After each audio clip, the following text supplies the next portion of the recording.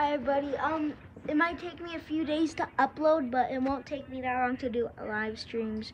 Because one of the reasons, if I upload the video now when I'm done editing, um, the video will be very laggy. So that's just my message. Okay, bye.